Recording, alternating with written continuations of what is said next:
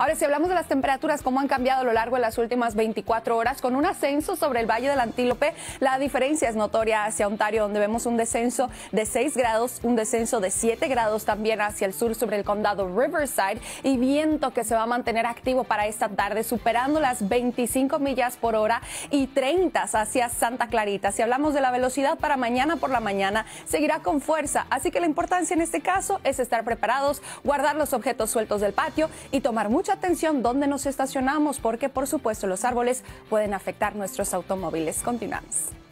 Gracias.